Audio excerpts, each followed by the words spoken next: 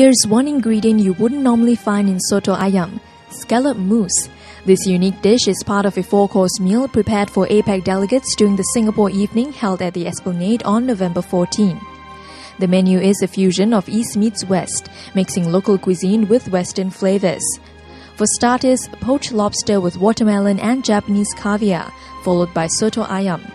The main course, five spice braised beef or chicken breast stuffed with mushrooms and spinach and dessert, cheng tng jelly with a panna cotta base. The thought of eating caviar and soto ayam together may not tickle your taste buds, but Chef Eric Teo begs to differ.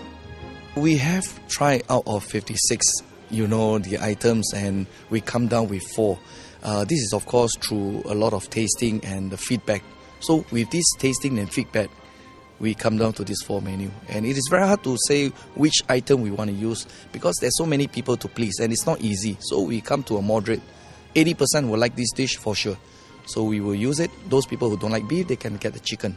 So if you are chinese you get to taste the flavor of the spices. If you're a westerner you get to taste the meat and the ingredients of the western part. So both worlds will enjoy what they have in these four dishes the menu is prepared by a culinary all-star team of locally renowned chefs. Chef Teo, along with 40 other chefs, took two months of planning and eight hours to cook the meal.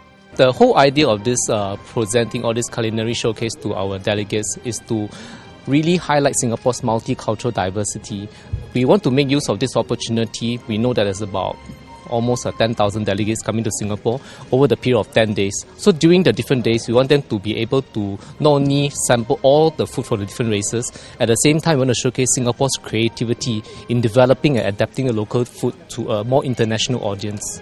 The four course meal will be served to some 2,000 delegates as part of the waterfront dining experience. Watch our other clips to find out more about the inspiration behind the dishes.